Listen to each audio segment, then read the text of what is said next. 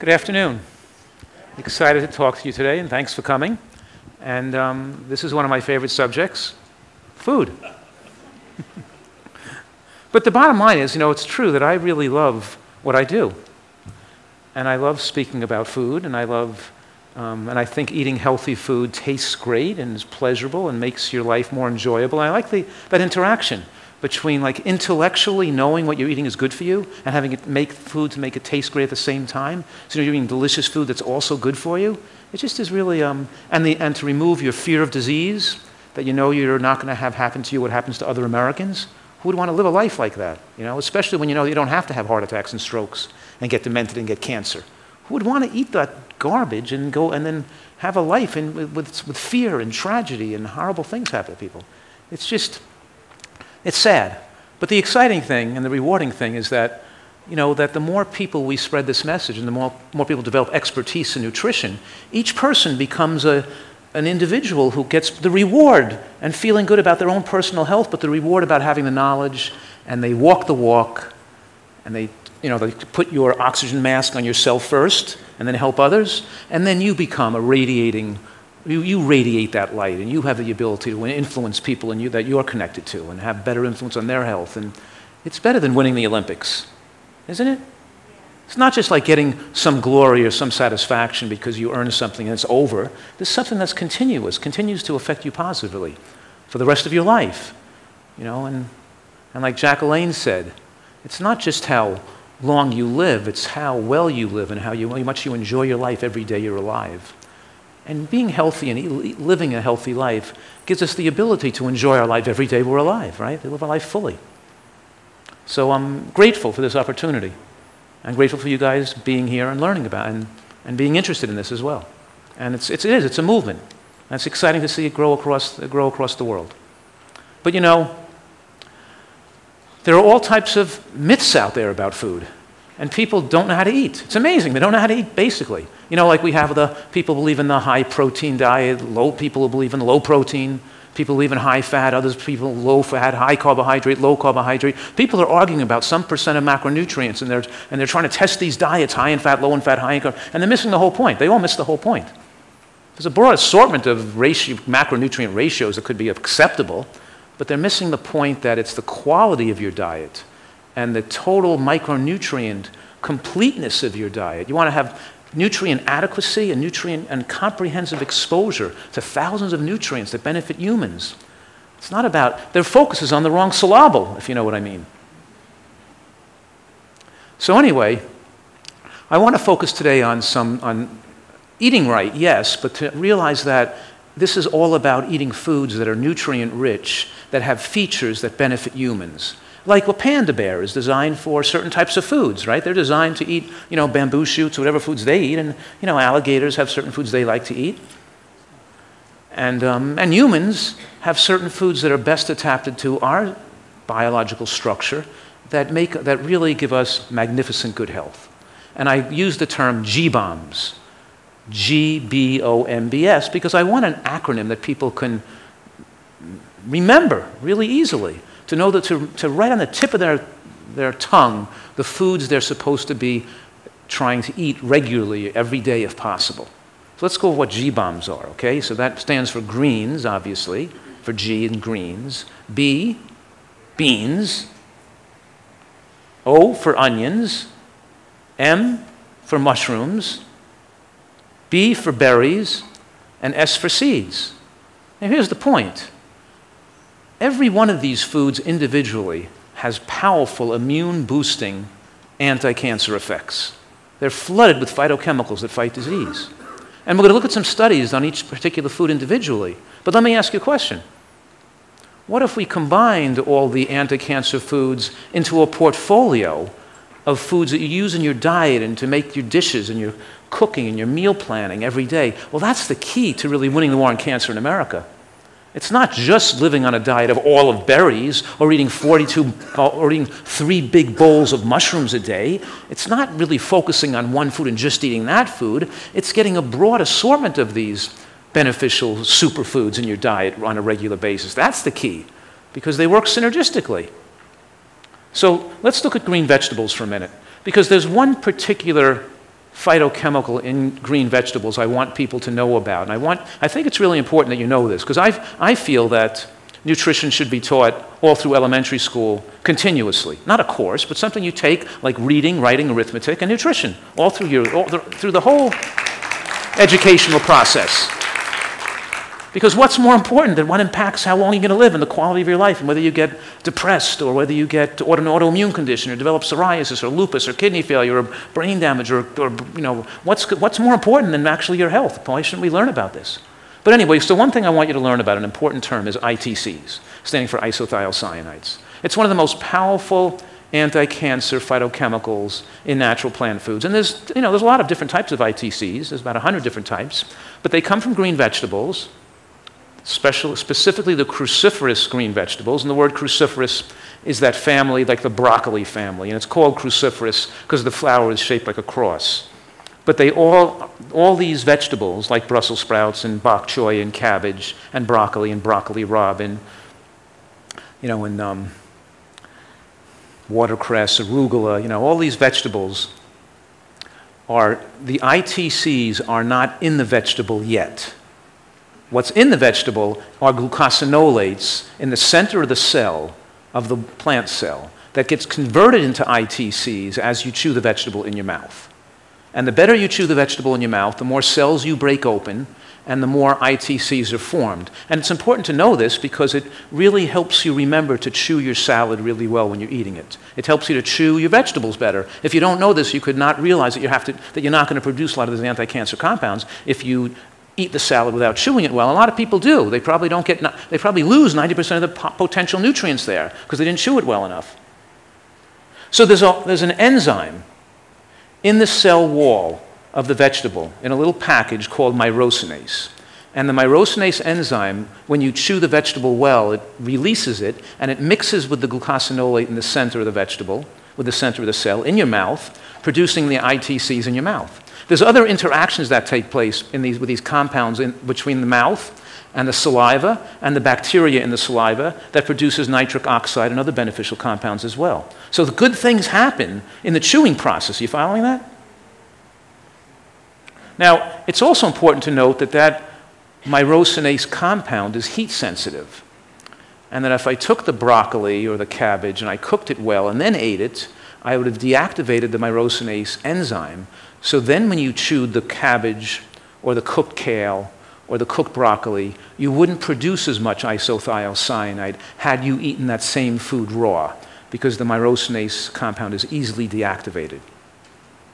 So it's important to chew, chop, and blend, or to really blend, break these compounds up while they're still raw. For example, um, in my book Eat to Live, which I first wrote and published, I think, in 2004, I had descriptions on how to make an anti-cancer soup. And I wrote down in the book, you know, juice of five mega carrots and put the juice in the soup and cut up your mushrooms and throw zucchini in there and onion and leeks and kale and, and mustard greens and collards, you know, all these healthy foods in the soup. And I said, when the zucchini and the onion and the kale got soft and mushy, take it out with the tongs and put it into the Vitamix machine or the blender and blend it down so it's smooth and creamy with a few cashew nuts and then pour it back into the base the soup so the mushrooms stay lumpy and chunky and the beans are lumpy and chunky, but the greens and the onion are smooth and creamy to give the food a nice, you know, a, a nice texture.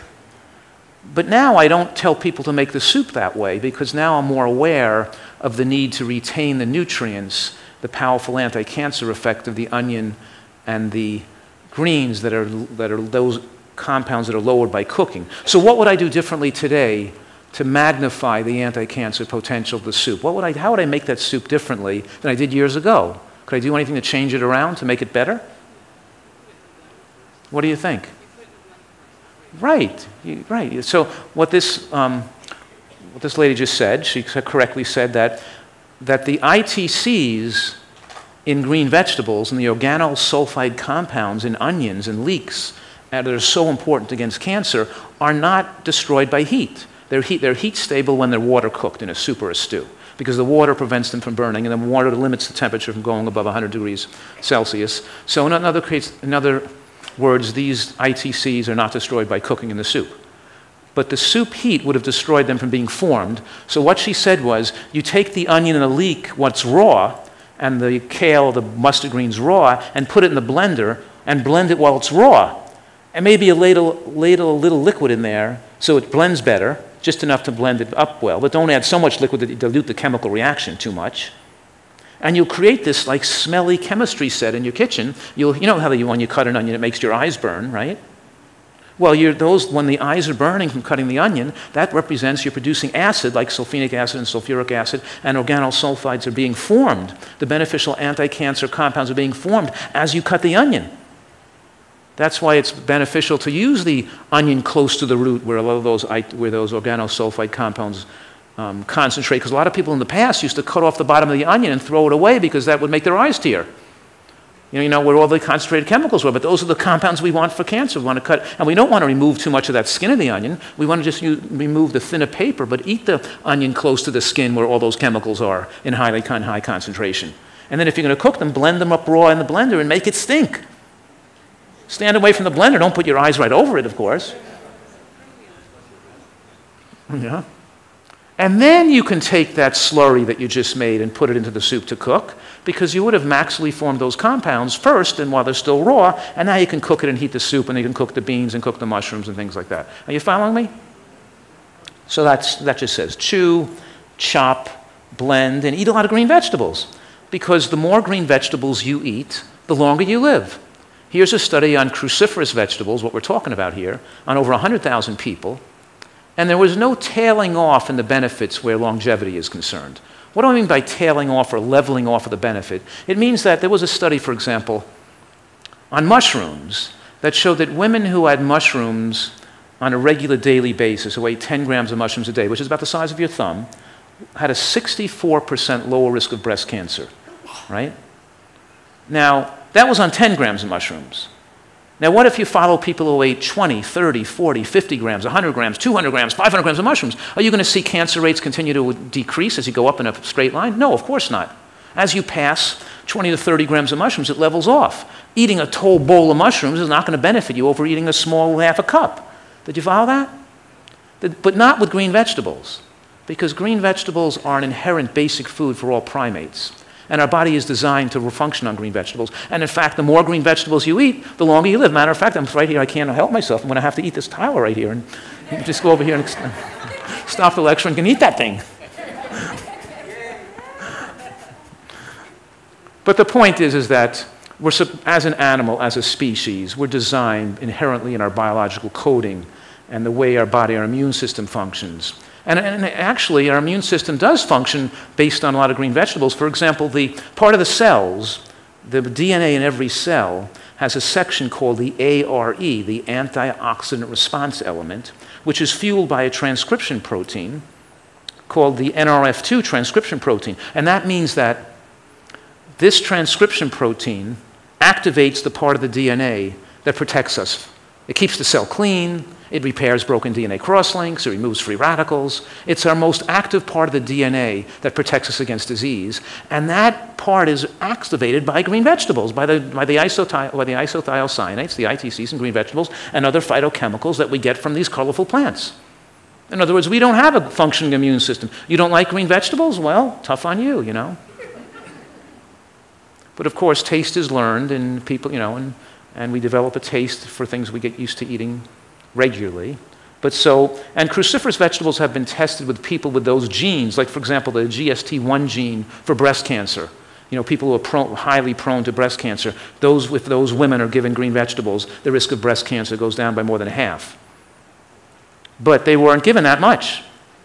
And what if they were given the amount I recommend, which is much more than that, or given the other synergistic effects, the other beneficial effects, like from the other G bombs?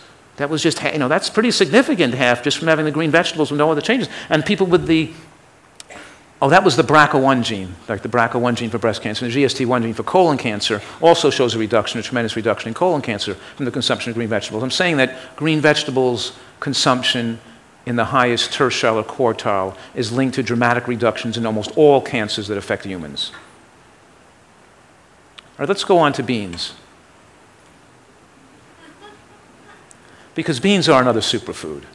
And I love to talk about beans because beans are associated with long life and all, you know, all those blue zones, long-lived populations. When we study elderly people all over the world, we find that the more beans they eat, the longer they live. Whoever eats the most beans live the longest, just like green vegetables. They should be our major source of protein and our major source of carbohydrate because they're high in carbohydrate and protein, right? They're, they're carbohydrate rich and they're protein rich. They're a good, in other words, they have a lot of what we need to maintain our muscle mass, to maintain our strength, to maintain our energy. They're digested very slowly, so when you eat them, they last you for many hours and they prevent overeating because they're very filling. Now, beans have a compound called um, inositol pentakisphosphate, IP5, which is very, very powerful against cancer. It doesn't allow cancer cells to replicate. And they're also full of phytic acid and you know, these phytates that have anti powerful anti cancer effects too. There's a lot of factors, and they're full of polyphenols and flavonoids. The whole, so beans have a, you know, the colorful beans, especially the red beans and the black beans, white beans, they have all these colors that are full of different phenols that give them that colorful, you know, the colorful hue that make them so healthy. You know, you guys know that when you eat blueberries, those beneficial compounds that make the blueberries blue are so healthy for us in our brain. And when you eat blueberries, you don't urinate out the blue, do you? No, it doesn't turn your urine blue. You keep the color inside you. Those, when you eat a red bean, you don't urinate red, or you don't eat green vegetables, you don't urinate green. You keep a lot of those colors in you. And those polyphenols and stay in your color, stay in your skin and color your skin. And they, and, and they protect you against skin cancer. But they don't just attract, they're not just attracted to the skin, they permeate every organ of your body, including your brain and your liver and your kidney and your heart. These phytonutrients stay into your tissues. They live in your tissues and they're active and they stay there for, you know, for years and months. And you know, they're important to be replenished and they're important to be high in our tissues. You can look at a person. I can look at a person and see how healthy they've been eating just by looking at the color of their skin. You notice how a lot of people you, um, will go to their doctor and the doctor says, Something wrong with you? Your skin looks orange. And they'll put their hand out next to you and go, Look at my fleshy pink color. You must, something, you know, my, your orange tinge. Is something wrong with you? I have too much carotenemia in your skin. You're eating too much carrot juice? No, I don't eat carrot juice. I'm just, it's all the vegetables I eat, whatever. But the point is, you should say to your doctor who tells you that, that it's you who has the abnormal color to your skin. This is the way your skin should look. So this means I'm protected, and however, but you are not protected, and you're going to be at high risk of early death, especially from cancer, from not having that color in your skin, because that shows you're not eating enough vegetables. Did you follow that? Just like you go to your doctor, not to diverge too much, but you go to your doctor and he tells you your white blood cell count is too low. It's only 3.6, and it should be between 5 and 10. Maybe you have to go to the hematologist for one of those, or an oncologist for those bone marrow biopsies, which is going to kill you, to check you don't have cancer because your low white blood cell counts. The facts are is that when you eat a healthy diet, like I recommend, it drops your white blood cell count low out of the normal range. Because low white blood cell counts are linked to people who live longer life and have lower cancer rates. Because when you're eating all the food, the immuno, this food that supports your immune system and doesn't and takes away inflammation, you don't need all those white blood cells floating around. There's not so much inflammation in your body. And you should say to your doctor, who doesn't know it better, it's not his fault, he never learned this stuff. He's trying his best. But you should say to your doctor, no, um, you know, Dr. Smith, it's you with the higher white blood cell count who's at risk of getting cancer. Myself with a lower white blood cell count, as Dr. Fuhrman said, is, is the one protected against cancer. You're the one who needs the bone marrow biopsy.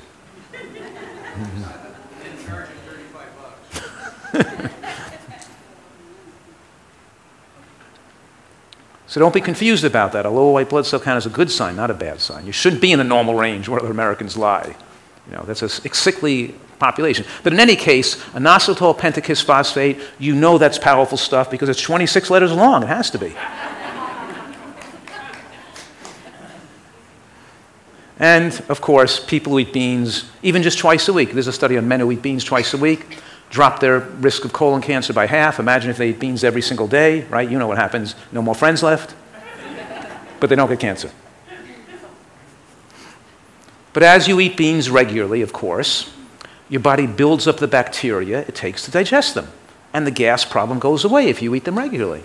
Unfortunately, the gas problem goes away, but there's other fun things about beans.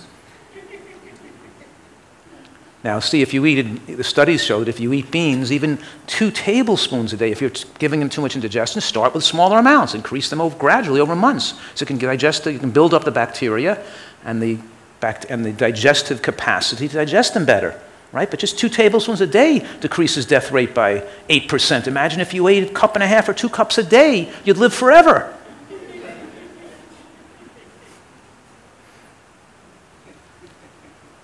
So let's, so But let's look at this for a minute because beans are the highest in fiber almost all foods.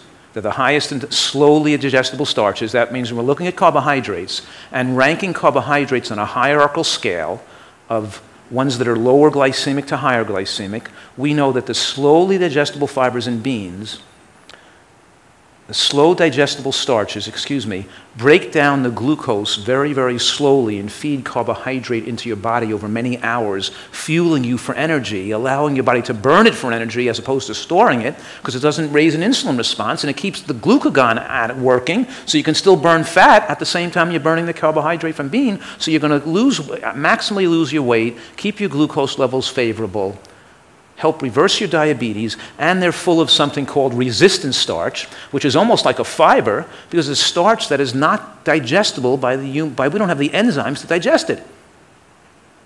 So what happens to that resistant starch in the bean? It's degraded by bacteria. And after a while, we, and the more we eat beans regularly, the more we build up the bacteria to digest the resistant starch. And we convert that resistant starch into a fat, short, short chain fat, predominantly short chain fatty acids, predominantly the one that's called butyrate. And that butyrate, some of it gets absorbed, which has anti diabetic effects and immune protective effects as well. And the butyrate and those fatty acids have an anti inflammatory effect on the wall of the colon, preventing inflammation and reducing risk of getting hemorrhoids or constipation. But the point is, is that you know, that's, the, that's a disease called um, diverticulum or diverticulosis, those little pockets from eating a low fiber, high meat diet. And I've seen in my 25 years of medical practice, scoping people, putting scopes in people's rectums and looking up their um, colon to see what's in there, you know, and, and seeing that a lot of them have diverticulum, but, after, but they come back five years later or 10 years later after following the program and eating better, and the diverticulum are gone, disappeared. I learned that, I learned something by, able to, by scoping these people, that it actually, I was able to watch these diseased colons getting better because they were changing their diet. Really exciting. But the resistant starch is something that's beneficial, and, it, and because it's converted into the fat, the carbohydrates convert into fat, and it occurs so far down in the digestive process, 90% of those calories don't get absorbed into the body. Only 10% get absorbed. 90% of those calories go into the stool, increasing the fat in the toilet bowl. So part of the calories in beans are lost to the toilet bowl, and of course, lowering the glycemic effect of the beans even further, and the fact that the bacteria that the beans enable to grow, that they feel they're a prebiotic, Beans fuel the growth of and, and accelerate the growth of the healthy bacteria in, in, your digestive tract. And those bacteria have beneficial effects, which slow the absorption of glucose from other foods that are not beans. So, had I ate beans with a mango in the same meal, the glucose from the mango would be absorbed more slowly because I had beans in that meal. Did you follow that? Yep. Now, scientists call it the second meal effect because you have these bacteria that live in your digestive tract now all the time. And what you eat the next meal is going to be slowed. The, glu- the glycemic load of that following meal after you ate the beans is going to be slowed because you eat beans regularly because of the bacteria that are now present in your, digestive tract all the time. But it's not just the second meal effect. The second meal effect is not a good name for it, even though that's what the scientists call it, because it's the third meal, fourth meal, or fifth meal. It doesn't matter when you eat the meals, right after or, or the next day or six meals later, you're still getting the benefit from those bean, bean, bac, bean-based bacteria growth. Did you follow that? So, beans, if we look at the nutritional density of carbohydrate, if we look at the fiber, if we look at the resistant starch, if we look at the glycemic load, then we can rate carbohydrates on a hierarchical scale of quality. And then we see that the, the ones adding the starch and fiber gives us a good idea that these beans are most beneficial when you have metabolic hindrance to weight loss, such as you know, obesity and diabetes, and you're a person genetically who's a difficult weight loser, then you want to especially eat less of the, those carbohydrate foods with a higher glycemic load and low fiber, and eat more that are high in fiber, high in nutrients, more resistant starch, and, you know, and, and lower glycemic, okay? So they're a superfood with powerful anti-cancer effects, and, they, and, they, and they're also relatively inexpensive and make it easy for people to, you know, we should be giving away beans. Right? Really. Well, you can't really eat beans raw. You have to soak them and cook them, unless you sprouted them. Yeah. But basically, they should be. But so I'm an advocate of using cooked beans in your diet. Okay? And onions are another superfood. You know, onions have been, you know, I didn't really used to like onions or know they were a superfood years ago. I didn't eat that many onions. But now I've learned about their power to prevent cancer, and I put them in, I put them in all my food, all like raw, I add them here, I add them there. Like, for example, I'll make a cooked kale dish.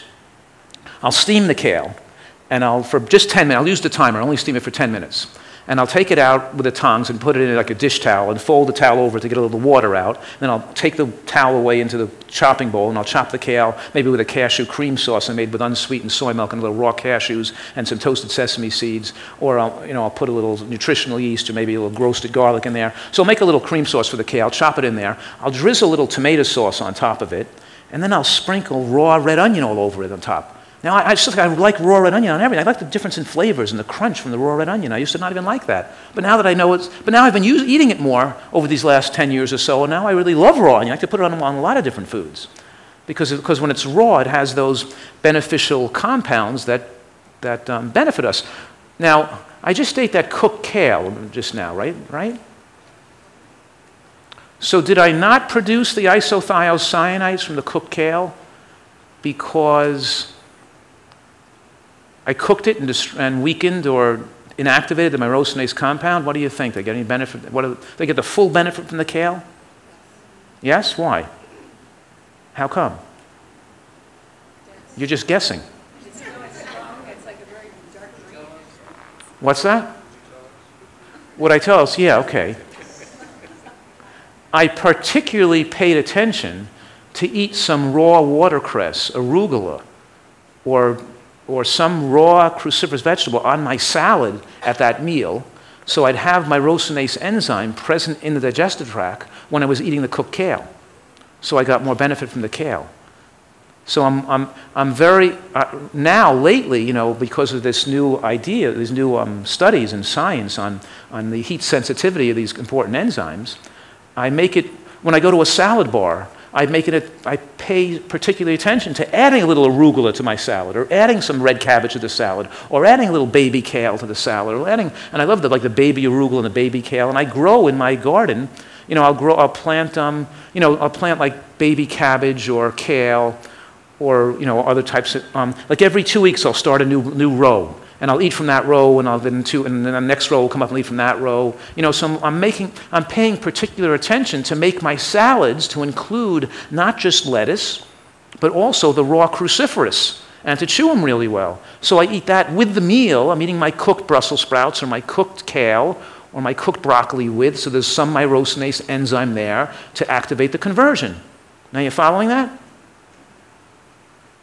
Mustard greens, mustard seed, whatever you want to use, but you should be aware of this so you're doing so you're maximally getting more nutritional bang for your for what you're eating. Well, of course, the less you cook it, the better it's going to be, and the more you cook it, the worse it's going to be. So, if you want going to dry out kale trips, then you want to make it as you want to do as low temperature as possible, and might nicely dehydrate them. Don't really use a dehydrator. If using your oven, put on the lowest setting possible because the less you cook something, the more you're going to retain that, the enzymatic action. The more you cook it, especially roasting it and darkening it and blackening it, you don't want to like, don't cook at high temperatures and as lower the better, right? Now, onions have been in, shown in scientific studies to, to, be protective against almost all types of cancers, between 50 to 88% reduction in the highest consumer of onions. And those consumer of onions were only eating a half a cup of onions in the highest quartile of consumption. They weren't eating that much onion. And likewise to the myrosinase enzyme in kale, myrosinase enzyme in all cruciferous vegetables, there's an enzyme called alliinase in onion. Now, I know I spelled it wrong over and over again, but I got it spelled right on this slide. It has two L's and two I's. It's hard for me, it was hard for me to remember the two I's. And I used to, you know, so it's alliinase, and it has two I's in it. It's the only, one of the only words with two L's and two I's, right? So you can remember it now. Alliinase. And you, and you want to remember to put raw onion on your salad. And if you need some cooked onion in the meal, then make sure you have some raw onion in the salad too to supply some of the alliinase enzyme. But you know that onion is particularly protective. The, and now I'm going to have a salad bar because I know this now. I go to the salad bar and I put some of those little scallion, crunchy little pieces of scallion on top of the salad. I know how anti cancer powerful it is to eat that raw. And I put some red onion on the salad and I'll chop the red onion up finely. I'll take the red onion and I'll chop it up with very thin slivers and, and put it on my salad. And really, I love the flavor of it now, especially when it's distributed very thinly dispersed as opposed to big, thick chunks. You know, I like that flavor, and I developed a taste for it because I've been doing it. The more you eat something, the more you develop a taste to want to prefer to eat it that way.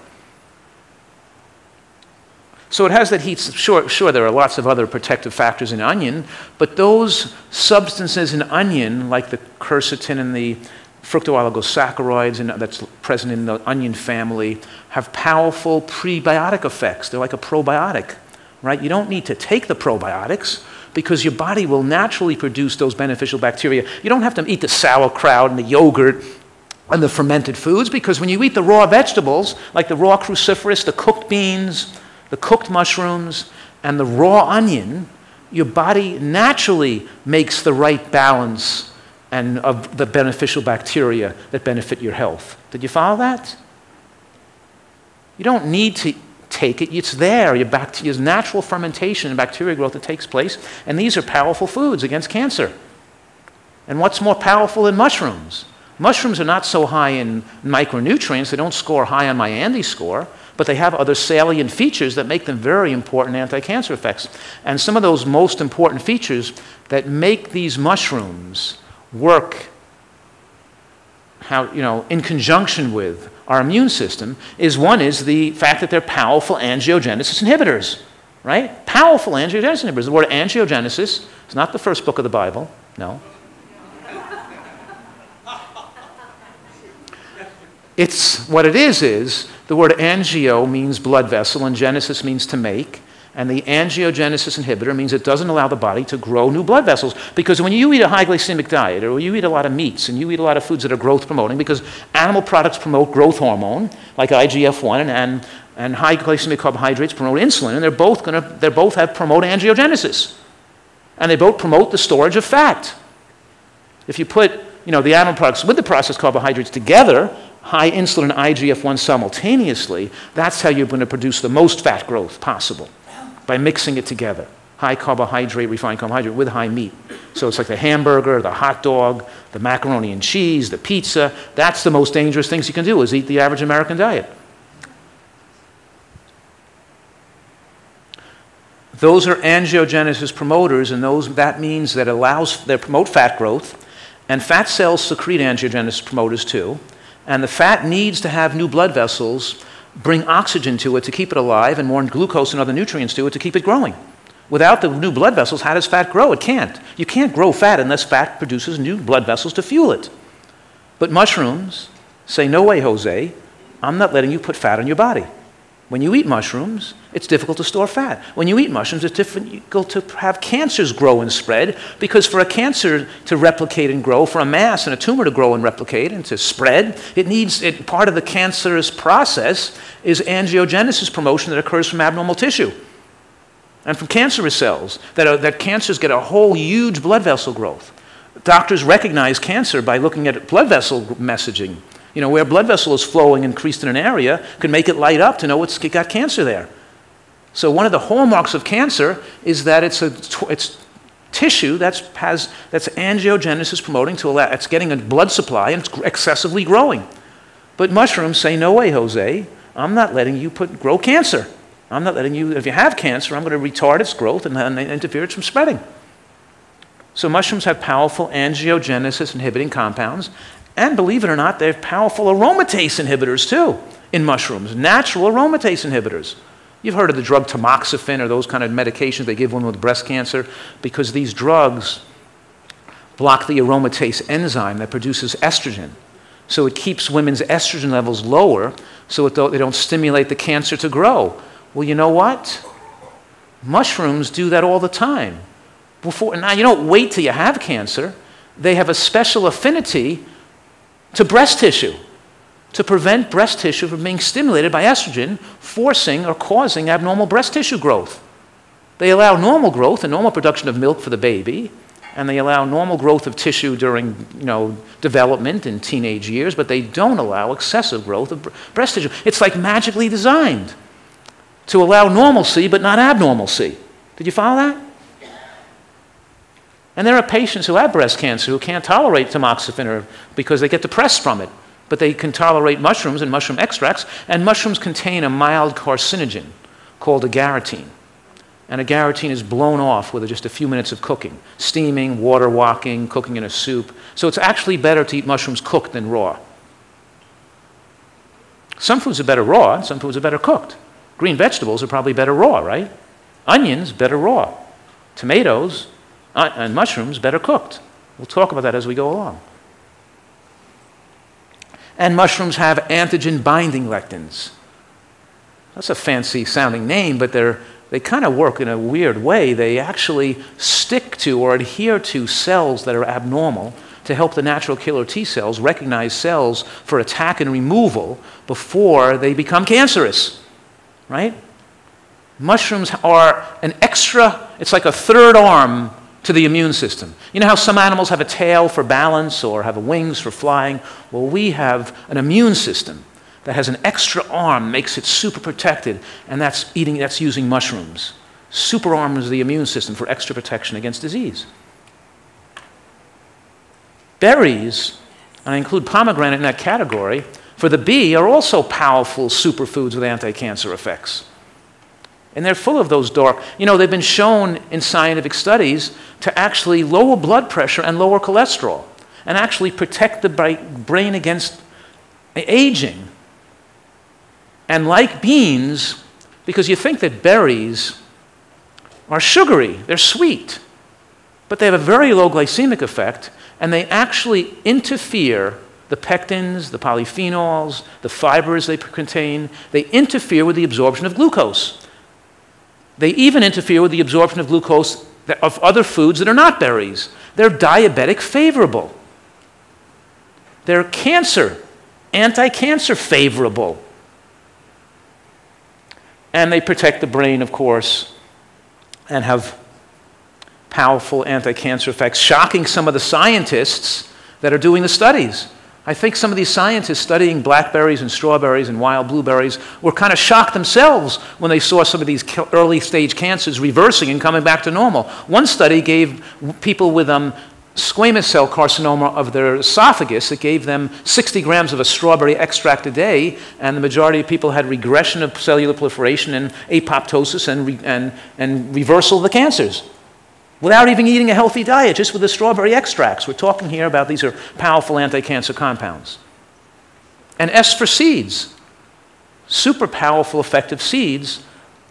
And how many of you eat some flax seeds or chia seeds or sesame seeds every day? Raise your hand. Flax, chia, or sesame every day. Wow, a lot of you do. I guess you're a very educated audience. Well, here's the thing in most people, most audiences I lecture to, very few of the audience raises their hand.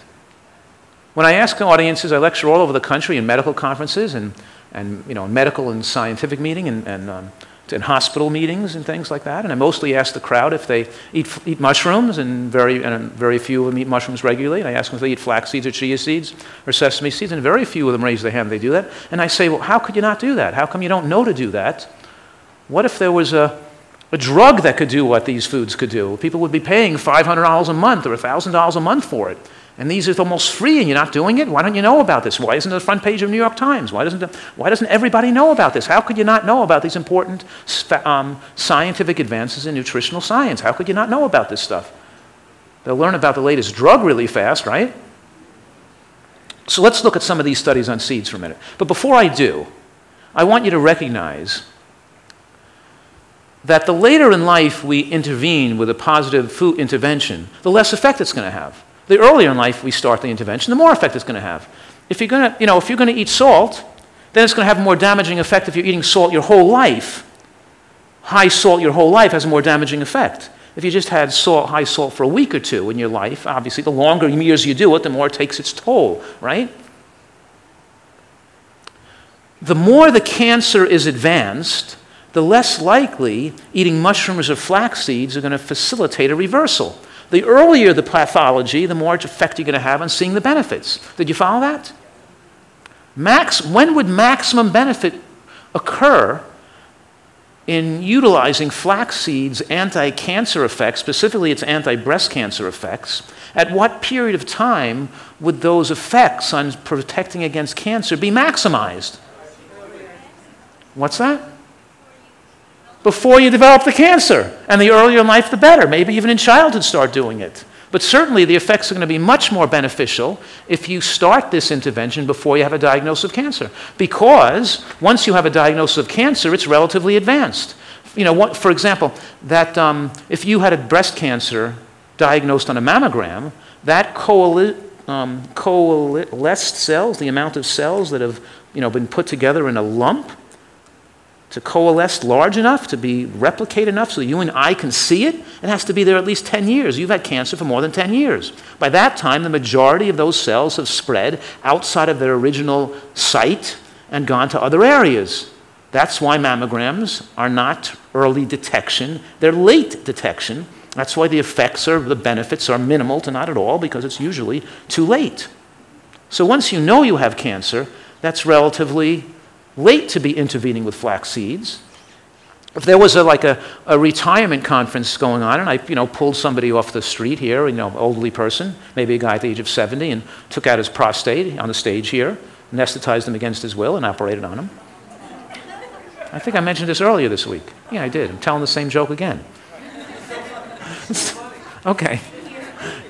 But anyway, so the point is, I took out his prostate. You'd find prostate cancer cells in almost all men over the age of 70. And the same thing if you looked at women's breasts and chopped them up and blended them in the Vitamix and looked on an electron microscope and posted on the, on the screen here. You'd see cancer cells in almost all women's breasts over the age of 70 you know so i can assure you running around so the point is is that don't wait till the mammogram shows you have advanced cancer do something now while you before you have cancer or even if you have an early stage cancer that's when it's reversible Okay, so that was the introduction to the seeds, and let's go now look at what the studies show. Because one study, let's look at one study. So, one study I'm going to start with where they gave women, um, um, pardon me, don't look at that slide for a minute. Let me go back to this slide. Sorry about that. I want to just focus on me for a minute because I'm not doing the slide. Because this is a study which is a double blinded controlled style, um, study where the participants didn't know who was getting the muffin that had the flax seeds or not. The participants were just getting a muffin. They were still eating their standard American diet, and one group got a muffin, and the other group got the same tasting muffin, but one had flax seeds and one didn't. And they didn't know which had which. And the doctors and pathologists reviewing the breast cancer, six weeks later, they were biopsying their breasts, women who had breast cancer already, and they did re-biopsies of the cancer cells in the breast to see the difference in pathology six weeks later from the, eating the flaxseed muffin. And what do you think they found? Dramatic benefits. Six weeks with a flaxseed muffin, dramatic benefits. People already had a diagnosis of cancer. You saw apoptosis, death of cancer cells, just from the flax seeds, regression of the proliferatory um, signaling. In other words, the cells stop replicating. You already showed, you know, doctors know that people that, are, that women who are diagnosed with breast cancer, that a certain percent of them go on for the cancers to get worse, and a certain percent of them do go on for the cancers to get better and go in the opposite direction. Early stage cancer can be go back the other way with no dietary intervention, just because it just happens sometimes. But if you want to stack the odds in your favor of having the cancer grow the other direction, especially the earlier it is, then you do the right things. And having the lignans from flax seeds, stack it in your favor. Just the lignans from the flax seeds. That's just one intervention. Forget about the mushrooms and all the other things we're going to do, the green vegetables and the berries and all the other things have powerful effects. But just the lignans from flaxseed show powerful effects. So now they did a 10 year study, right? Not a six week study with a muffin. And now they tracked the amount of lignans women ate over the 10 year period. And these women were all diagnosed with breast cancer. They followed them for 10 years. And those in the highest quartile of, C, of lignin consumption had a 71% decreased mortality from breast cancer. That's huge. It's especially huge when you consider these people already had cancer, breast cancer, that's relatively advanced. Imagine how protective it would have been had they started taking it before they had a diagnosis of cancer. Or got cancer in the earlier stages, not after it was diagnosed in the late stages. You following that? All diagnosed cancer is in the late stages.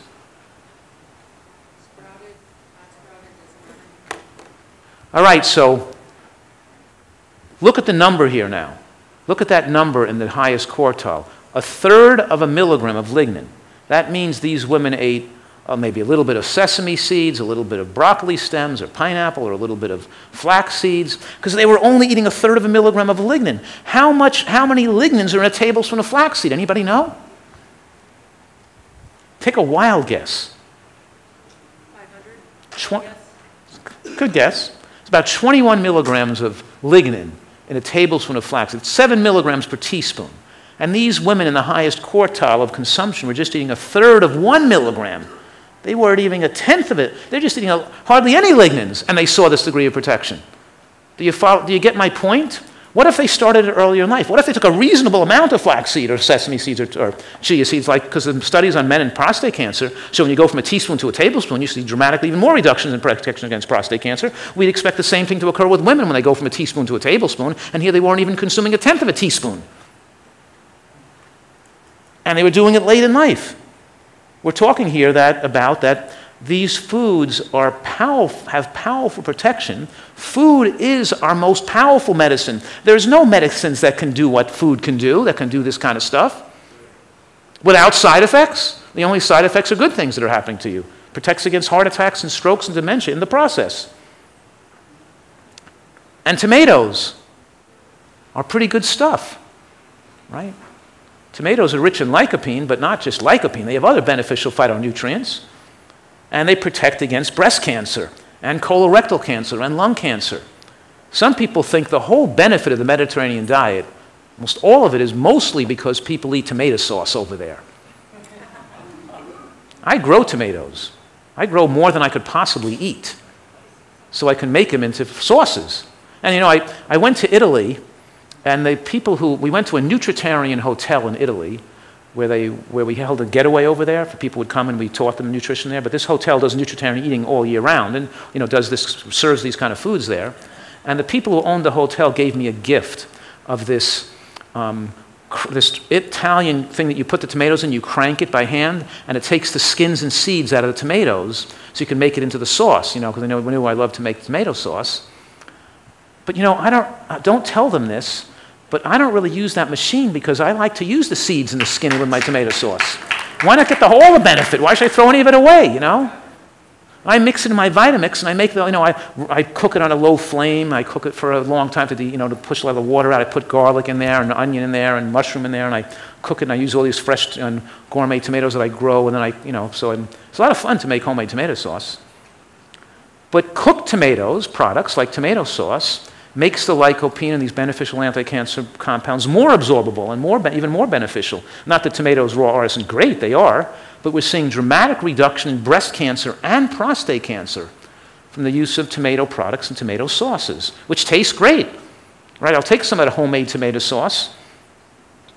Maybe I put some maybe I have roasted garlic or maybe sun-dried tomatoes in it added. But I, I, I buy these special sun-dried tomatoes. And I also dry my own sun-dried tomatoes too when I have it left, left over. But I, I buy these sun-dried tomatoes that I found that I order over the internet that have no salt in them and no oil in them and, no, and they're organic and they're not fumigated. There's nothing. There's nothing in them. Just plain tomatoes that have been sun-dried. That's it. I'm not going to tell you where because I don't remember.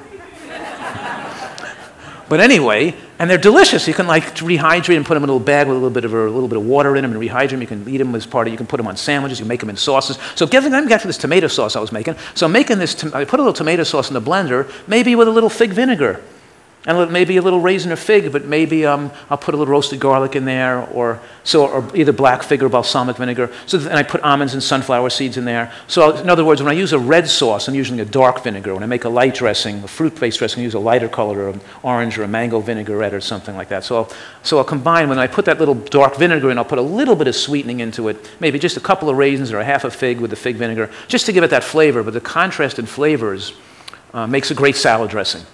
You know, and then you use the, the key here is to use the nuts and seeds as your salad dressing in place of using oil because they have completely different biological effects. All right? So I want to make it clear that cooking all food isn't bad. Cooking some foods like beans and mushrooms and making soups and stews is good. And tomatoes is good. And adding carrots, yes. I had said it's that there's, um, number one, they're, they're not the cleanest food, and you don't know how they were, you know, where they came from, even when they're organic you know, because there could be organic matter in the mushroom with all those crevices and little, they're better to wash them and to cook them. So they're, but they, I said there's a mild carcinogen in mushrooms called agaritine. Didn't I mention that at this lecture? Yeah. And then that gets blown off with just a few minutes of cooking. And so I'll have cooked mushrooms already prepared in my refrigerator cold. They'll be cooked first, and I, kept, I save them cold, so I want to sprinkle some on top of a salad, I can do so. I can put a little cooked mushrooms that I kept cold in my refrigerator. I always keep a couple of like bulbs of roasted garlic already made in there, sometimes made into a garlic nutter like a garlic butter made with roasted garlic, maybe a little nuts, split walnuts blended in, or, or cash, walnuts and cashews blended in. They can use it as a spread or make, mix it with basil and turn it into a pesto for a, for a spread for a portobello sandwich with red onion and tomato and, and um, the pesto I just made or an apple. You know, I'll make some, I keep the stuff already made so I can put together food really quick, you know, and make it really taste delicious. I want people to really enjoy eating a healthy diet. There's no, this doesn't have to take a second seat to good taste, you know. You can, and there are gourmet restaurants now that serve nutritarian food. The question is if I grind my flax, did you ever try to eat flax not ground? Yeah. The point, I, it's a good point though, but the point is that the flax seeds should be ground because you can't, if you eat it not ground, it sticks to the wall of your mouth. It takes like four hours to get it out. You know, and it's, it's you can't, and also, plus you don't want to swallow the seeds whole because you're not going to digest them. You're just going to be fertilizing new flax plants, making new flax plants around the, the earth. That's if you defecate in the woods, you know, and you, you cover it with. Your question is if you dehydrate the mushrooms, does that give you the benefits of cooking it? Like, does it have to remove the agaritine as cooking it does? I think it does remove some of the agaritine, but not as much as cooking does. Do you sprout the flax? Soak in water? Do I sprout the flax? No. It doesn't mean I'm not saying it's not good for you to do it. It might be very good to. I don't know that flax might be very good sprouted. If it's a seed, it's live, it can sprout it, need anything sprouted, sure. Okay, so to, re to review now, because I want to make sure that you guys are understanding the concepts of a nutritarian diet. I focus on superfoods, some of these salient features of foods, their nutrient density. I want your diet to be vegetable based. I want most, that means the majority of what you eat, by at least by volume, should be vegetables, probably by calories too. But the majority of what you, vegetable based. The American diet is plant based, because the majority of what Americans are eating now is plants. They only eat 30% of calories from animal products. It's just most of the plants they eat are processed foods. Processed plants, like Coca Cola and French fries and potato chips, are plants, come from plants, right? So, a nutritarian diet and the American diet is grain based. Most of the calories come from grains. Not that we can't eat any whole grains, but I want you to eat more vegetable, mostly vegetables, because they have more powerful longevity benefits. And I want you to eat a lot of fruits, beans, nuts, and seeds. What I'm saying, these three basic factors, right? I'm saying to you that these are things that all nutritional scientists can't disagree with. There's 90% of the non biased, non commercial interested, you know, people who have the scientists who are not working for a commercial company or on their payroll, that have no commercial interests, all agree that, we, that modern populations do not eat sufficient produce. We have to eat much more produce, and we have to eat less animal products. That's not controversial. There's no controversy or disagreement here among scientists. The controversy is among lay people, not among scientists. And there's no controversy that we shouldn't be eating high glycemic refined carbohydrates like white sugar and white flour. There's no controversy among scientists here. Oil is also calorically dense and fattening. And, you're not gonna, and a lot of people on plant based diets, which, you know, are eating a lot of oil, and the average American is consuming 400 calories from oil a day. That's a huge amount of concentrated calories that have no significant micronutrient load. The more calories you put in your body without a nutrient, nutritional load, the more it weakens your health and shortens your lifespan. Because think about this I'm telling you that the health benefits of walnuts and flax seeds and pistachio nuts, right? I'm telling you about how beneficial it is to eat these nuts and seeds. The whole point is supposed to eat those nuts and seeds instead of using the oil, not to use it on top of the oil. Make your salad dressing with nuts and seeds, make your sauces and your dips with nuts and seeds. Utilize them and get the oil out of your diet because oil is processed in a way to, that the calories are rapidly absorbed so fast into the bloodstream that they have to be stored as fat. You can't burn them for energy because too much because the calories rush in in too concentrated a form. And animal products, if you're going to eat them, have to be used sparingly. And I say, you know, like maximum maybe 8 to 10 ounces a week, maybe 6 to 8 ounces for a woman, 8 to 10 for a man, if you use it as a condiment, as a flavoring. You know, if a person's a meat lover, they don't want to give up animal products no matter what, then they can eat just a little bit of animal product. You know, even some people, so in other words, even those people who, are, who will never be a vegan, they still should cut back their animal products radically. Did you follow that? Why should they commit suicide with food over, over wrong information? Because if you don't want to give up your beef, you can still have a beef burger with one ounce of beef in it. It could be made out of mushrooms and oats and beans and walnuts ground together. You know, you could take a, a four ounce piece of beef and make it for eight people or eight burgers, and you could put it on the barbecue. Make sure you have a lot of heterocyclic amines to make it more carcinogenic, of course. But the point is, is that these people can use animal products as a condiment or a flavoring if they don't want to give it up and they still don't want to sit down and put a big section of that animal right on their plate and eat it, a big, big giant piece of it, because you don't want to make it the main point of what you're eating because it's going to take out away from the amount of foods you should be eating. Besides the fact that it has disease promoting effects, it also reduces by, by your percent of calories, you have to get it relatively low so you can have a room in your stomach to eat all the healthy foods you need to eat, right? It's called replacement. That's where the studies on saturated fat, where people are saying that saturated fat is good, not bad. It's good to eat butter now, right? Butter is back, bacon is back, right? Because the studies show that when people cut back the fat in their diet and ate more refined carbohydrates, like white flour products like bagels and bread, their heart disease rates didn't go, didn't go down, they went up. That doesn't, um, what's the word, absolve butter of being dangerous or bacon of being dangerous just because one of because sugar is worse. Did you follow that? Because one thing is, more, because things are equally bad doesn't make it good. It's like buying a car by comparing it to a junkyard wreck. You know, we have to, in other words, they're both bad. The whole, it's uh, half of nutritional science is crazy because they, don't even know what the, the people doing the studies don't even know what to study. So they, they're studying the wrong things, you know, seeing whether it's better to use oil or whether to use, to use oil versus white flour or, you know, or, or it's, it's crazy. So we have to focus on nutrient dense calories, and oil is a perfect example of a nutrient poor calorie, right? All oil. You don't have to ask me about flax oil, coconut oil, olive oil, oil from the bottom of the Mediterranean Sea, it doesn't matter. Whatever oil you can mention, it's all mostly calorically dense, 120 calories per tablespoon with no significant nutrient load. So more greens, more beans, more nuts and seeds in the diet, right? Means less animal products and less carbohydrates, less highly refined carbohydrates. More beans, more greens, more nuts and seeds means dramatic lowering of the glycemic effect of the diet. And as I explained to you, biochemical effects that reduce the glycemic effect of other foods, and they dramatically improve diabetic parameter. So here's a study, a pilot study we did on, on 11 people who were on, a, who were on a nutritarian diet for seven months, and they lost weight. They're, they all became non-diabetic, in other words, their hemoglobin A1C, the non diabetic range is below 6. And even the one who was left on glucophage had a hemoglobin A1C below, five, below 6. His doctor just left him on it. He didn't need it anymore, he was just left on it. But they all essentially became non diabetic. Look at how much their blood pressure dropped. 60% of, med- um, 60% of blood pressure medications were reduced over that seven month period, and more of them should have been reduced, but their blood pressure dropped about 27 points and of course their triglycerides dropped 70 points. In other words, they generally they became normal again. They lost their weight, they got rid of their diabetes. Pretty easy to get rid of their diabetes on this study, and now we're doing a larger control trial, which I'm really excited about.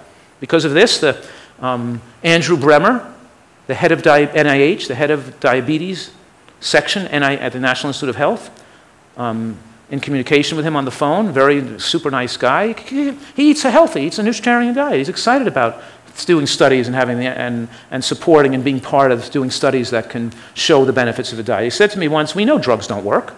You know, we know drugs don't. We've tested it for 40 years. You know, we know that that's, it's not the answer. Matter of fact, drugs cause weight gain for diabetics. They make people get more diabetic because they, they push the failing beta cells in the pancreas, the sulfonylureas, push the beta cells in the pancreas to work harder to produce more insulin. The failing beta cells that are overworked to begin with are now being pushed harder to get your glucose down. So by trying to push your glucose down, now they burn out faster and you become more diabetic. And that's why the Accord study was stopped after a few years because the people who were getting more medical care, and more blood glucose measurements, and better, better medical care, and to keep their blood glucoses better controlled and lower, had a higher risk of death, higher risk of morbidity and mortality, higher risk of death. So the government had to stop the study. More drugs, more death.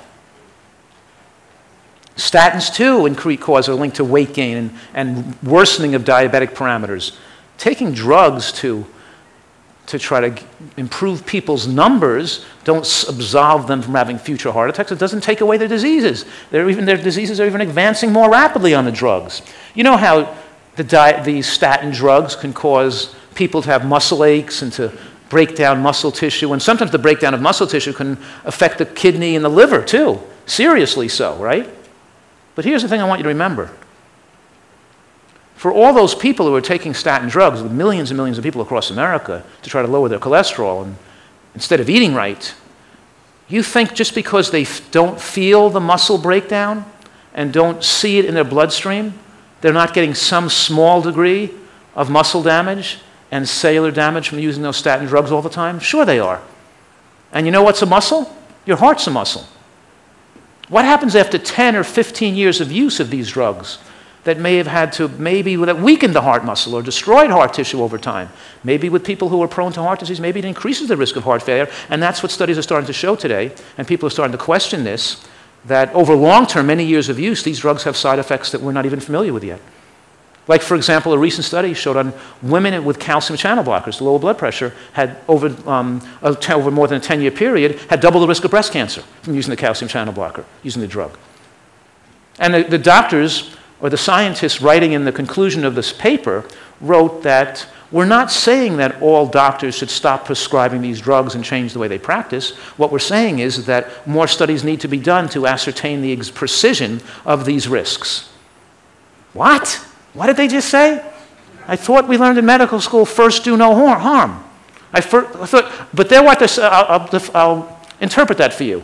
That means just give patients drugs, whether you, whether, you know how, whether you know how dangerous they are or not. We'll find that out later, for sure. Just give them drugs because it's better to do something than to do nothing. That's what it means, I guess. But you know, but now put that in the context of the fact that nutritional excellence has the ability to work better than drugs and give people the opportunity. See, if people really knew the dangers of those drugs, if they knew that their blood pressure medication caused breast cancer, could double the risk of breast cancer, and they also knew they could reverse their blood pressure so easily with dietary change without incurring those risks, don't you think more people would choose to eat healthfully if they were really properly informed?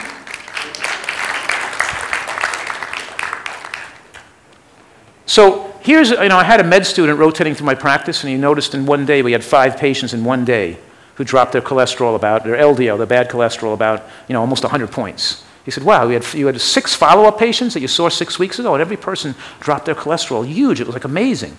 And of course, that was with one of them stopped the cholesterol-lowering drug and dropped it. And this is what you see. You see dramatic effects. And this was done and published in a medical journal, Metabolism, where they followed people following a nutritarian diet and just six weeks, it dropped their cholesterol 33%, their, their, um, it dropped their LDL cholesterol 33%. Just in six weeks' time. More powerful than statin drugs in general practice. But here's the thing to note, to note that when you lowered your cholesterol with, your with, with nutrition, it just didn't lower your cholesterol. It lowered your body weight, it lowered your glycemic parameters, it improved, it got rid of your inflammation. It, and it's not just cholesterol, it's oxidized LDL cholesterol. It's the inflammatory cholesterol. And then you, the ratio of oxidized to non oxidized completely changed. It doesn't, you, you're not representing the benefits just by looking at the LDL cholesterol. The benefits might be 100 times more protective.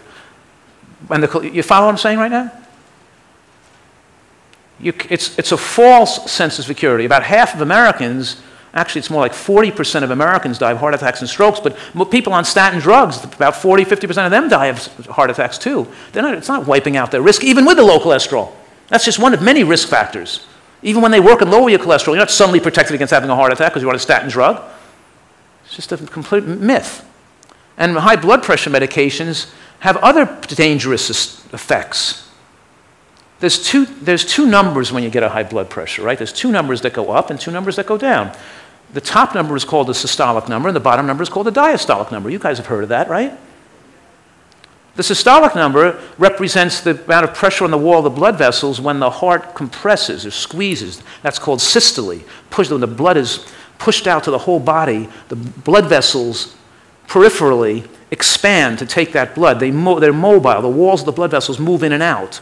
And as they're under pressure during systole, they move out a little bit. If they don't move, if they're more stiffened, systole, the systolic blood pressure goes up very high. If they're supposed to, if they're elastic and youthful and they widen as the part pumps, the first blood pressure stays relatively low. So the systolic blood pressure is a measure of how elastic and youthful and healthy your blood vessels are. Did you follow that? During diastole, when the heart relaxes and refills, the blood vessels do what? They contract inward to keep diastole up so it can help the blood return back to the heart. If you're elderly and the blood vessels are more stiff and dis- diseased and they don't come in, then diastole starts to fall. As you age, the, the top number goes higher and the bottom number goes lower. Your pulse pressure widens, and that's the predictor of sudden cardiac death or danger. Because let me ask you a question When does the heart blood vessels, the coronary arteries that bring the blood to the muscle of the heart, when does those vessels fill with blood? During systole or during diastole? During diastole is correct. They refill when the heart refills. And so you get all that oxygen blood during diastole. Now, so what am I telling you this for? It seems kind of advanced and unnecessary. I'll tell you why I'm telling you it. Because when you take drugs to lower your blood pressure, to push the systolic number into a favorable range, they can't even do it with one drug in most of these people who are eating American food. They sometimes require two or three drugs, but, the, but you, when you raise the dose of that drug or add a second drug and, and you take, go to doctors, they give you sufficient drugs to keep the systolic number favorable so it doesn't cause a stroke or damage brain cells, but they do so at the expense of pushing diastole into an unfavorable low range. So we know that people with a diastole below 60 have a three times risk of cardiac death, and people below 70 have double the risk of cardiac death. And as when you medicate a diastolic number low, it's dangerous. It's not dangerous when it's low because you just earned it to be low because you, you have a youthful blood vessels, but when you medicate blood pressure down, you increase risk of sudden cardiac death and cardiac arrhythmia, and a lot of these blood pressure medications cause people to go into atrial fibrillation because they don't sufficiently get coronary refilling during diastole. And now they're in atrial fibrillation from the blood pressure medications, and now you got to get take you know a clot busting drug like Coumadin or another drug which increases risk of hemorrhagic stroke and gastrointestinal bleeding, or you get an accident and you bleed to death. You know, in other words, or the drugs have uh, actually the one drug causes one side effect, and they give you another drug to counter that side effect. So now you're taking the, the anti the blood thinners, and now you're taking the proton pump inhibitors because they cause irritation of the stomach, and then you get the proton pump inhibitor, which decreases acid, which increases risk of pneumonia. So now they got increased risk of pneumonia infections. So now they give you antibiotics for that, and then they got to. Um, what I'm saying is that taking one drug leads to a taking of another drug to counter the effects of the other drug. No, I can't repeat it. I don't even know what I just said. But the point I'm making here is that drugs aren't the answer. The point I'm making is if people knew, had a good, had, could, a good evaluation, properly informed of the risks of medications and their limited benefits, and how, you, and how the really only true benefits they can get out of really changing their diet. And now you can drop the diet, the systolic blood pressure without pushing the diastolic too low. And you can not just cover it up, cover up the numbers on your blood pressure, like beta blockers, which lower peripheral blood pressure but don't change central nervous system blood pressure in the brain much. It's just like covering it up. I always say you take your car to the mechanic with the oil light flashing on the dashboard, and he reaches in there with a with the wire cutters and he snips the wire so you can't see your oil light flashing right? You still, then you're driving your car with no oil. You can't escape from the biological laws of cause and effect. You can't take a drug and expect to be okay when you have these factors. When I tell audiences, I say, How many people want to guarantee never to have a heart attack and never have a stroke? And they all raise their hand and say, Me, I do, I want. Tell me, I'm going to do it. And I'm so, well, well you can't just, here's what you got to do. You have to have a normal blood pressure without the use of medication.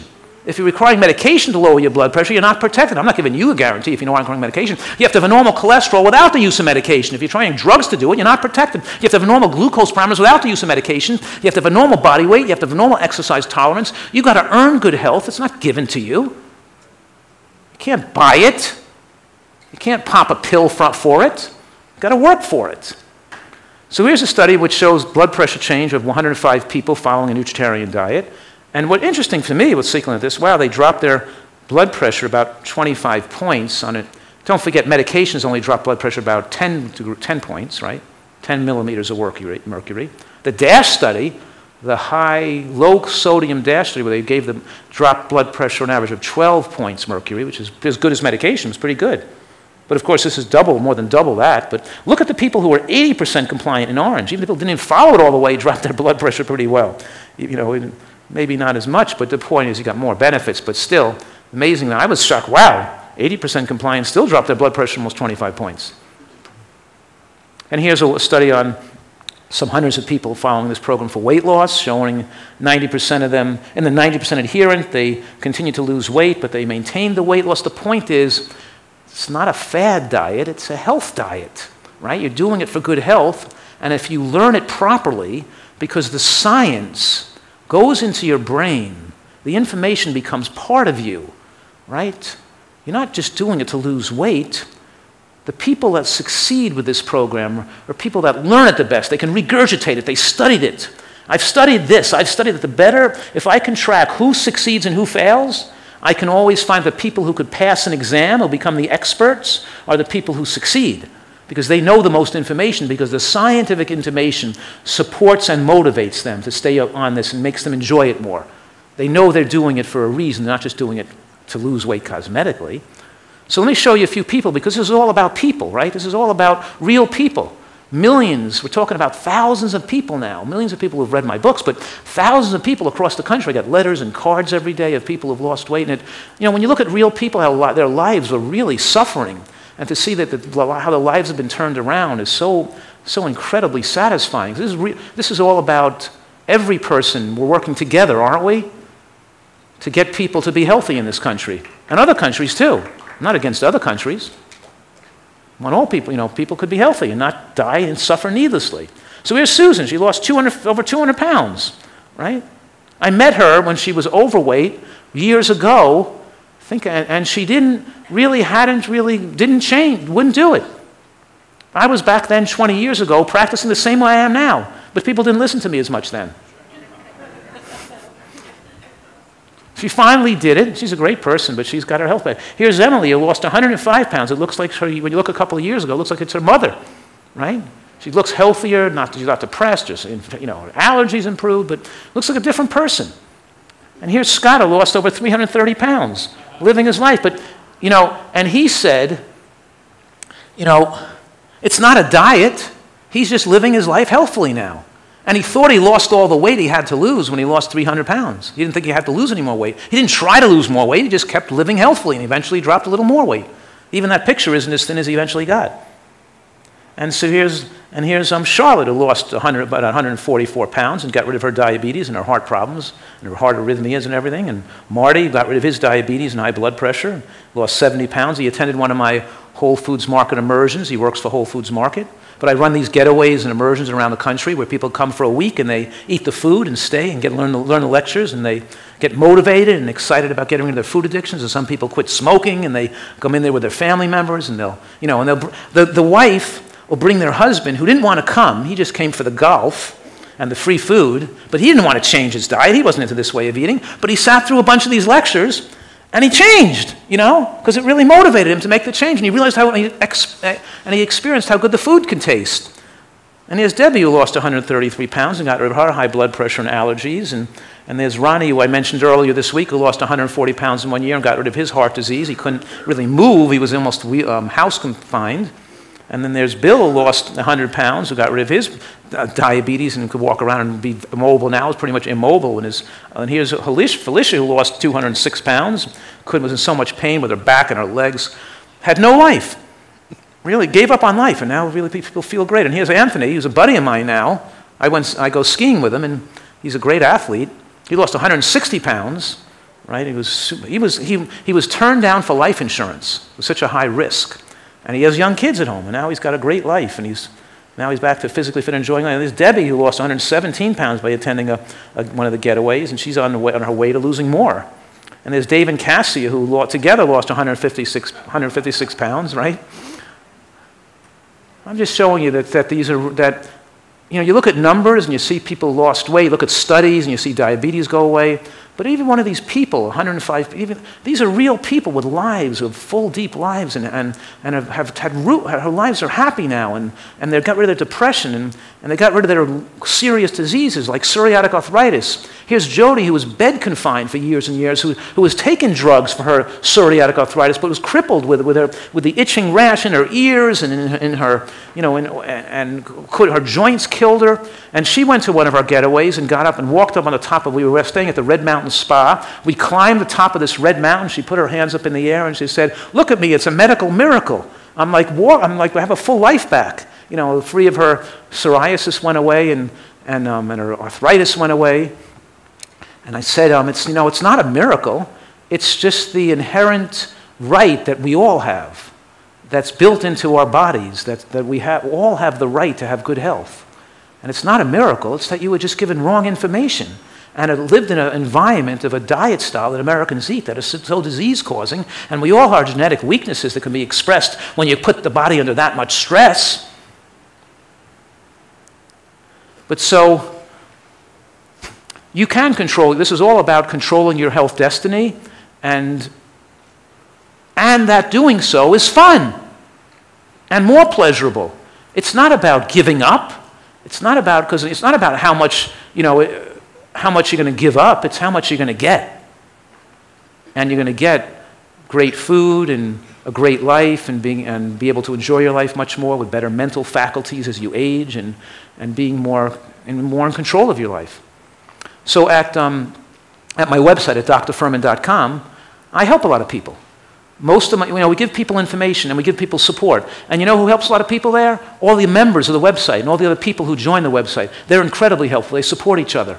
And they, there's more than 1,500 recipes, and a lot of those recipes are given to people by people who are members. Put the recipes in, and they let members rate them, in which they rate the highest. And they have dinner meetings and clubs, and they have, you know, and they have, and they get, to, they have get-togethers, and they, and they give you the rah-rah support when you're getting, when you, and they, and if you have asthma, you can meet other people who got well for asthma. And if you have lupus or psoriasis, you see other people who recovered from psoriasis, and we support you. And it's a great, it's great to watch and read and to see what's going on in the forums there. And I, and through part, and the website, I have an Ask the Doctor forum where I ask, ask people's questions, like Ronnie from Texas, who got well from his heart disease and lost 150 pounds. I never met him. He was just in the forums asking me what he should do, and I was giving him some guidance over the forums. And I'm going to go to Dallas, I think, this year and, and meet, finally meet Ronnie you know, who, who lost all that, who reversed his very serious heart disease, and try to meet some of these people. But a lot of these people I've never met, but I've given them guidance through the website. I just want you to let you know that it's a, an opportunity, a resource for people to get motivation and support, because you don't have to feel like where you live, you get, you're doing this alone if you want to make a change, and other people around you aren't doing this, and sometimes people need that kind of extra support. And then, of course, the Nutritional Research Foundation, I'm spending a lot more of my time and work in doing nutritional research today and I'm using the Nutritional Research Foundation. I'm the research director of that foundation and working with to do more studies that will make it this better documented so more doctors will embrace it more. I don't need the better documented to embrace it more. Maybe you don't need better documented to embrace it more. We know it works. But, you know, but, but the general public out there can be, you know, they want you know, more studies, bigger studies, more conclusive proof, and that's going on right now as well. And there are other doctors also doing more stu bigger studies and, and getting more done to, be, to have better, bigger influence on societies and doing everything we can to influence society in a better direction. Well, thanks for coming and for listening at home and attending. Thank you. I'll, I have a few minutes. I have three minutes, so I'll take some questions. Yes. Uh, a lot of people lose weight too fast and they get the skin hanging a lot of people think they need to lose weight because they're a certain height, so they actually put themselves out of balance because their focus is losing weight. Would you talk about that whole context? Yeah, I basically do not agree with what you just said. Okay. Because, I'll tell you why. Because people always, you know, because some people can report, let's say they're doing my program, and they lost, let's say, um, 50 pounds in two months or three months. And people will critique it, and they'll say, they, why, this is dangerous, they lost the weight too fast. And I'm saying, no, it's not dangerous. Would you want me to feed them Ring Dings and Twinkies to slow the weight loss down? They're eating as much food as they, they, they're not depriving themselves of nutrients. They're eating as much food as they desire. The body is just actively throwing out weight, and maybe it saved their life to drop the weight off. The, what you're confusing is losing weight too fast in an unhealthy manner and losing weight with a fad diet or losing weight, you know, so, or losing weight with some way that they're not getting nutrients into their body. And not sustaining normal function, or they're losing weight in a way that can't be sustained, so they're going to gain the weight back again. Yes, all those things are not good because losing weight and gaining it back again is dangerous. But if that rapid weight loss was this the beginning of continual weight loss, that they're never going to regain their weight ever and keep it off forever, then it's good they lost the weight fast. Would, the body just did it naturally. We didn't, shouldn't have had to do anything to slow the weight loss down. So, and you're not going to have your loose skin be retracted better by losing weight slower. That's also not true. The ability to retract loose skin is based on genetics and how young you are when you lost the weight and how farther it was stretched out when, it was, when you gained the weight. It's not related to how fast you lose the weight. So I, so I think if you do it in a healthy manner, it's not an issue, and a lot of people doing this program do lose the weight relatively fast. There's nothing wrong with that. All right? Thanks for the, thanks for the question. Thank you very, thank you very much. You're awesome. Um, I'm two years raw vegan, uh, plant-based, and I loved your presentation. I assume vegan was plant-based, yeah? Yes, that's correct. Or um, salt, sodium chloride, table salt, sea salt, Celtic salt, Thanks for the Himalayan question. salt, baking soda, Good question. Epsom salt. Your thoughts? Good question. Yes. Um, it's important because I don't have that much time left, and it's an important thing to go over is salt because salt is an insidious, dangerous substance that accelerates death, and that whether you're sensitive to salt or not, whether you can eat a lot of salt, whether it raises your blood pressure or not, doesn't matter because it's pro inflammatory, it increases risk of stomach cancer, it increases the risk of having a stroke, irrespective of its effect on blood pressure. And you know what? Eventually, after years of use, you will be sensitive to that salt because 90% of Americans eventually develop high blood pressure. Didn't matter that they weren't salt responsive when they were young. Eventually, when they keep using a high salt diet, they become salt responsive. And you know there are two types of strokes. But there's hemorrhagic strokes and there's ischemic or embolic stroke. And the hemorrhagic stroke isn't caused by a clot. It's caused by a broken thin blood vessel in the brain that bleeds, and those strokes are more devastating. And those devastating, life threatening strokes occur more in populations that have lower risk of heart attacks and lower cholesterols. In Asia, they have higher rate, much more hemorrhagic stroke than we have in this country because we have lower rates of hemorrhagic stroke and more rates of ischemic or embolic stroke because the more you eat bacon and cheeseburgers in American diet, you raise your cholesterol, you increase the risk of your blood to clot, and you uh, increase your propensity of having a embolic stroke. But the atherosclerotic process thickens the walls of the blood vessels and protects the fragile blood vessels in the brain from hemorrhaging from high pressure. So we know from studies around the world that people who have low cholesterol have higher rates of hemorrhagic strokes, and people who are cardiac protective on a high salt diet have higher risk of hemorrhagic stroke. And what I'm saying to you right now is that people on a plant, more plant based, more cardioprotective diet who still use salt liberally could be at higher risk of hemorrhagic stroke than a person on a conventional diet that's more clot promoting. And it doesn't matter whether your salt is from Celtic salt or Himalayan salt or Black Sea salt or from the or from the bottom of the, or from Mars even. It doesn't matter where the salt comes from because all those salts have an insignificant amount of minerals in them, which does nothing.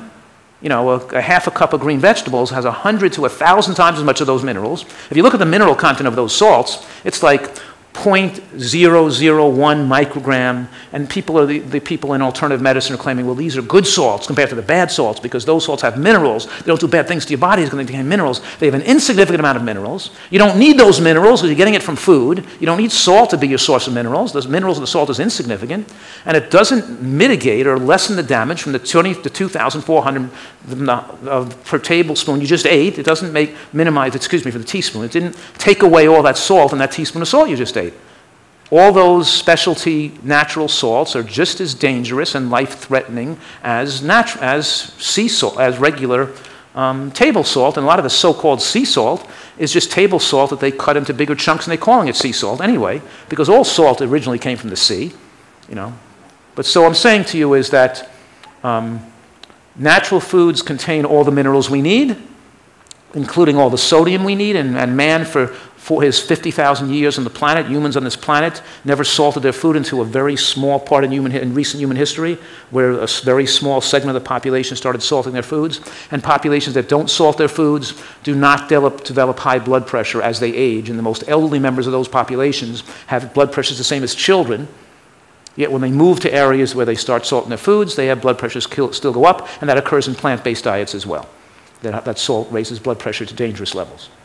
So I think salt should be kept to relatively low levels. If you're eating a diet that's healthy and you're getting about 500 to 700 milligrams of sodium a day from natural foods, then don't eat anything that day that ha- more than one or two things that has some salt added. Like if you have a little tomato sauce or a little bit of that's made in a bottle or a little bit of a commercial soup, or if you're having something, make sure you don't have more than two or 300 milligrams of salt that day in addition to what was naturally in the fruit, food, so you don't push yourself over 1,000 or over 1,200 because you still want to have a favorable level. So if you have one thing a day that's maybe has something that had some salt in it, it's probably okay. But, uh, but if you eat American food and you go to American restaurants, you're going to be getting 1,000 milligrams of salt for a commercially raised soup, or, a, or you know, you got to wa- watch yourself and don't have too much of that stuff that's made commercially because you're going to be pushing yourself up to dangerous levels. Thank you. I don't think I have much time more for questions. Maybe I can handle one more. You want me to get yours? We have two hands up, so you earned the question. Okay. You, you did touch on GMO. You're saying eat tomatoes, eat, eat uh, mushrooms, eat that. What Would you like me to give another lecture? I mean, you know, so look, I, there are other people speaking about that issue here. But I'm saying you're saying eat tomatoes, eat uh, mushrooms. What about the GMO that's affecting just the body? No, that, um, I do advocate people eat foods that predominantly organic, but I want them to selectively take the dollars they have to spend and spend it most intelligently based on their budget. To, if they're going to buy, to, if they can't buy everything organic, buy the foods that are organic that are most heavily treated. So at least that they can budget themselves out to make sure they're not using strawberries that are not organic and not using spinach that's not organic, things that are more heavily treated with pesticide residue, right? So I do want people to eat organic if possible. But I'm not aware that, I wasn't aware that mushrooms are a heavily GMO food. Tomato. Tomato, yes, tomato is right. But, um, but maybe tomato would be a good food to buy organic. I think mushrooms probably are a good food too because they're soft. And the soft foods like spinach and mushrooms are hard to clean, where things with a harder surface or a shell that can be peeled, or even a peach, you can dip into hot water to remove the skin. And you know, trees don't get as much of the pesticide residue because it doesn't go up to the roots so far down 30 feet into the soil back up as much. But you can peel food, so I do want people to eat high quality food and not expose themselves to toxins or carcinogens as much as possible. There's a, you said there's a fungus among us? Is that what it? What did, I'm asking, and mushrooms are basically a fungus. So it's okay to eat a fungus. it reminds me of, um, I'm thinking, I was thinking the joke goes, why did the mushroom leave the party early? Because there wasn't much room there. Something like that. But yes, I'm, I'm presenting that mushrooms are a superfood. That's correct. What type of mushroom? All types. Yeah. Yeah. True. Okay, I think I got to wrap this up, but, right? Thanks, guys. Enjoy talking to you.